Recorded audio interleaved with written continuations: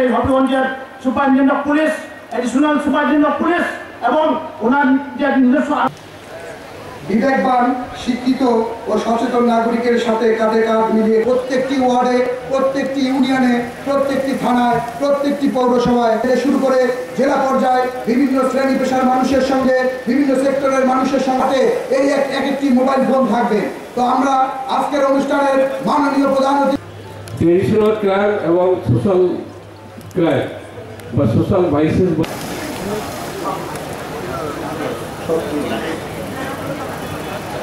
লাখাই থানা কমিটি পুলিশিংয়ের সভাপতি মাহফুজুল আলম। ঐক্যবদ্ধ করে সন্ত্রাস দুর্নীতি নির্মূল করার যে পরিকল্পনা যে স্বপ্ন দেখছেন উপস্থিত আছেন আজকের এই কমিউনিটি পুলিশিং এর তাই আপনাদের সামনে সংক্ষিপ্ত আকারে বক্তব্য নিয়ে আসছেন ভাই বোনেরা আসসালামু আলাইকুম আদাব। আমার বক্তব্য দেওয়ার সুযোগ নাই।